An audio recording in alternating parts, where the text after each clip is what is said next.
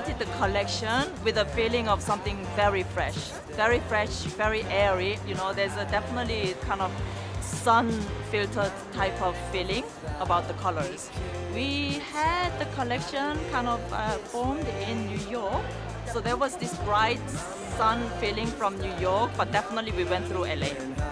I like that kind of uh, mixture of something unexpected and that feels like that's one way to express newness. Naturally, I like subtle playfulness, and it's something that I makes me happy. Something that is in my mind a lot, so it feels quite easy and natural to play. Like to this season to do to get the foxes to teach us how to do yoga. Sometimes maybe you don't have to do anything. Just take it easy and relax.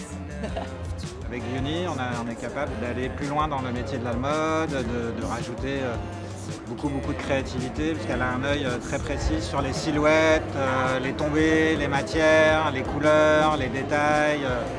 On a un atelier chez nous avec des pattern makers, des, couturières et donc tout est monté chez nous à Paris. C'est comme une, vraie évolution dans du savoir-faire certainement.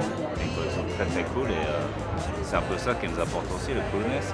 Il est très cool. Il est détendu comme, ses, comme ses propriétaires. Je pense qu'on essaye de faire un chic sportif avec un, bon sens de la coupe élégante et, avec des détails un peu fun et quand même le marquage reconnaissable.